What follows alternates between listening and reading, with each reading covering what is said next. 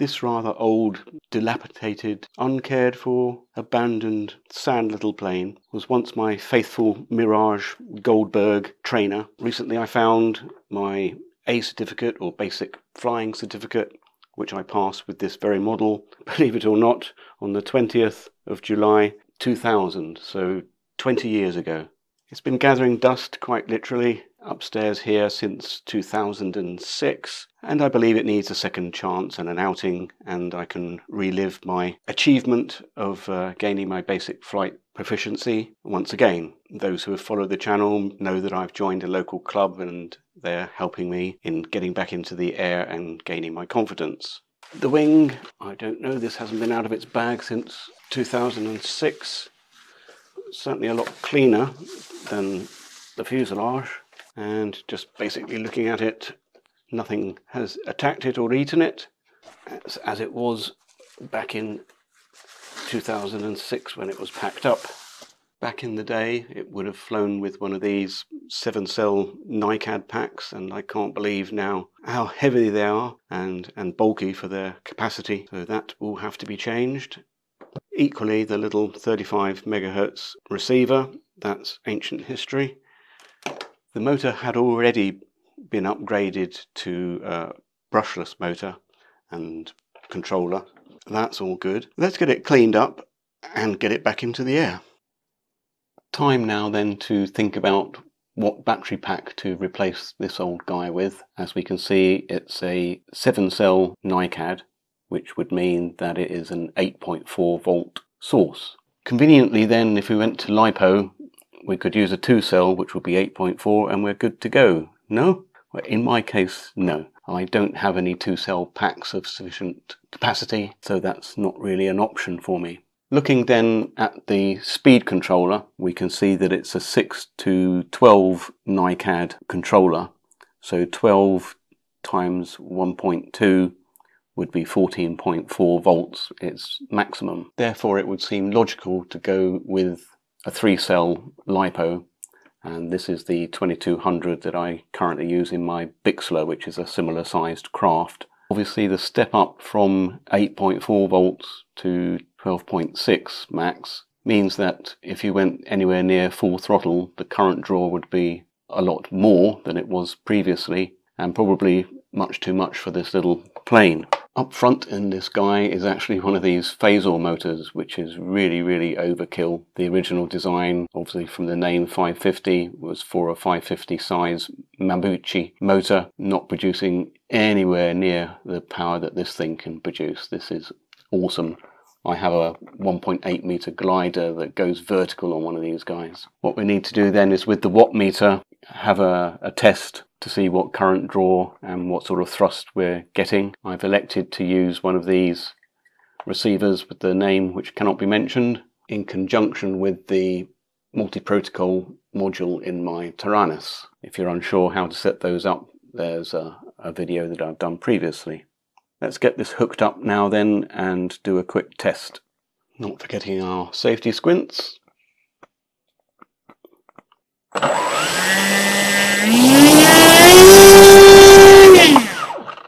My word. We got then to a peak current of 39 amps, being a 40 amp controller. We're on the limit there, but we'll get nowhere near that. That was an awesome amount of power. In fact, it was 433 watts. I think that would get the thing moving along a little bit too quickly. There will have to be some throttle management, some rates put in on the throttle to, uh, to tame that down. Now I can hook up the other servos and check the control surfaces for the rudder and elevator.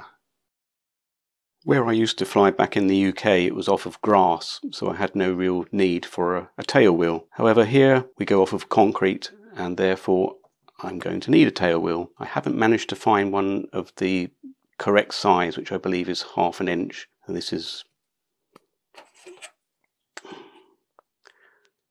more than double that, but I think it adds to the cartoony feel of the thing. What I'll have to do is to bend up a piece of piano wire to attach this. In the original design, the piano wire goes in maybe about five millimeters. So that's five, let's measure this, say 20, need to come up, say, to about there. So that's 40. So 25, 65, 65 millimeters plus what we're going to need for here and a little bit extra quarter millimeters on each side gives you 17 so 2 times 65 and 17 I'll need a piece of wire 147 millimeters long. Well let's get that bent up. Having bent the wire to shape I've just laid some epoxy down on there hopefully to keep it in place. And whilst that's just hardening up completely I think I'll get out my covering iron and try and tidy up some of these little wrinkles. Not that it's ever going to win any beauty competitions.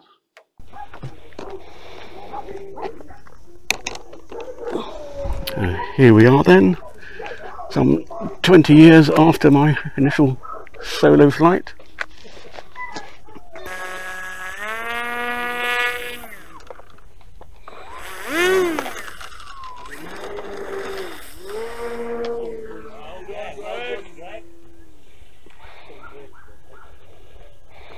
And she's away.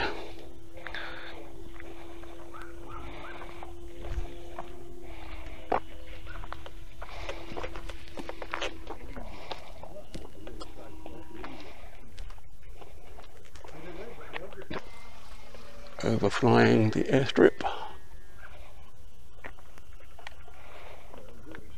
So the next part should be doing a uh, figure of eight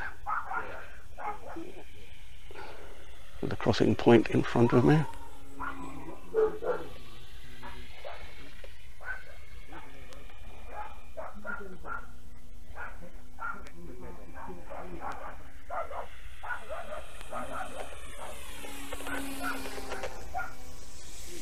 A bit raggedy.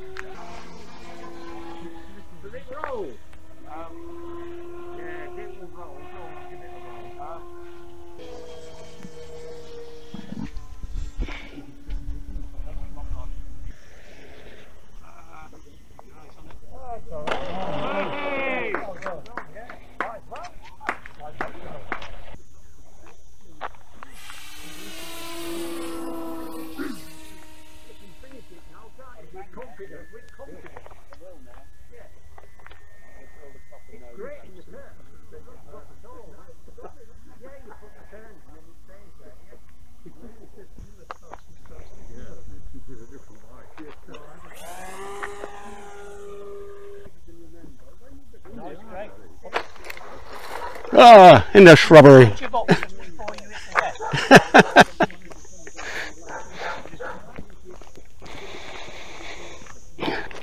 Second flight of the day. And the 20th anniversary flight of the Mirage. So far so good. Famous last words.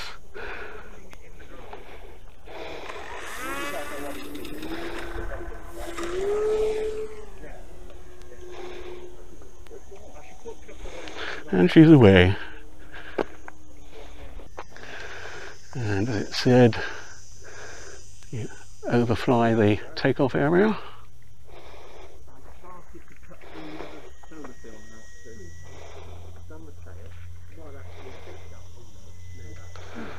There she is. And then off into a figure of eight in front of the pilot.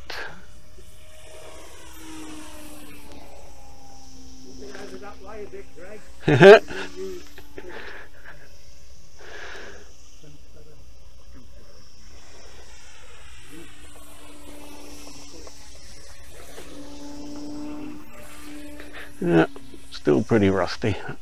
There we go. Let's try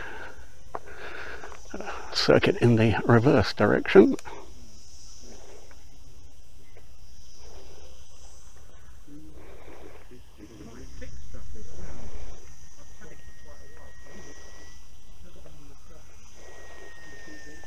And overfly the takeoff area.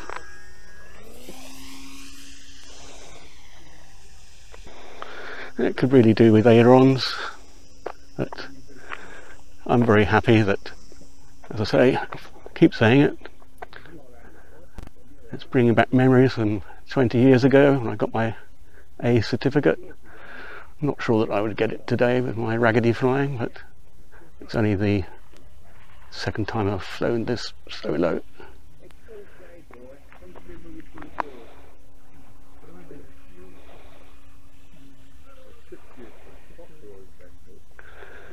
guess there might be some thermal activity today. It's uh, getting right up there. Only got it on constant throttle. Found a third throttle.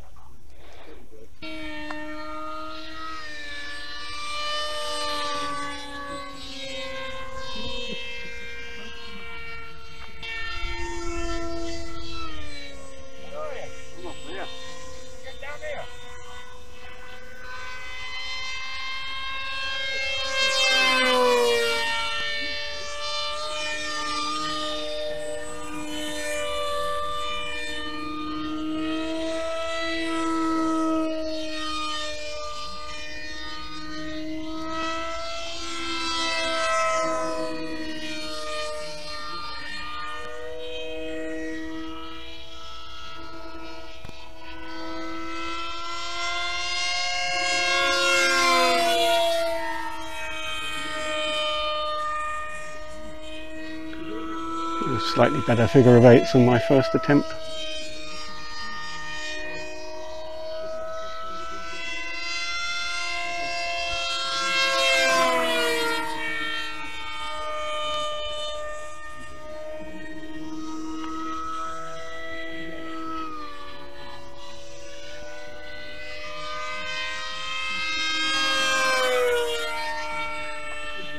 slowing down. It's going ever so well to start with. I'm going. Land it then.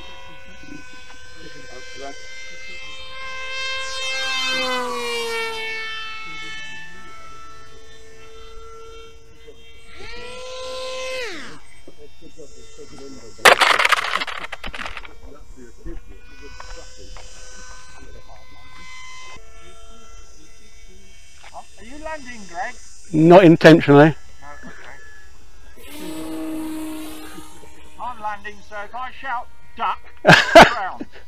Duck or grouse?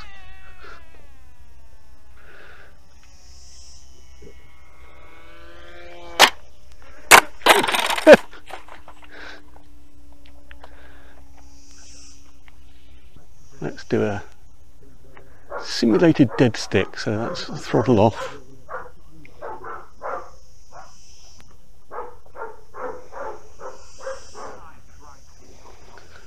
Difficult judging the height, that's the only issue I have.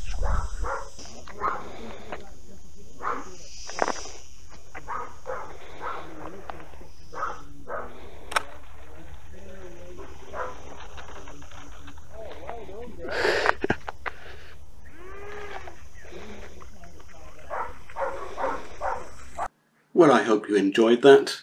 Uh, you couldn't have enjoyed it as much as I did, bringing back the dusty old relic from the past and seeing her fly again was a real thrill for me. My thanks go to the guys at the club for all their help and encouragement and a special shout out to Steve and to Tom without whose valuable assistance I'd have been taking the thing home in a bin bag. Thanks for watching. Cheerio.